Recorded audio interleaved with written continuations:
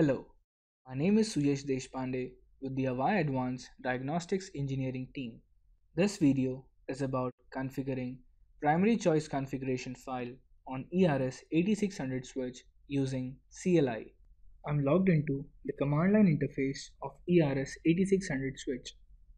To view the existing primary configuration choice, we will execute command more boot.cfg. In the output, we can see that the primary choice of configuration file is config1.cfg. To change the primary choice of the configuration file, we will execute command config boot config choice primary config file followed by the name of the configuration file.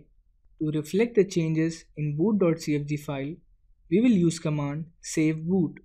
A success message will be displayed on your screen. To display and verify the changes made, we will again use command more boot.cfg. In the output, we can see that the primary configuration choice has been changed from config1.cfg to config2.cfg. So, this is how we can configure primary choice configuration file on ERS8600 switch. Thank you for your time today. Welcome comments, questions, and feedback at mentor at avaya.com or on Twitter at avayamentor. For more details or related information, please visit support.avaya.com. Thank you for choosing Avaya.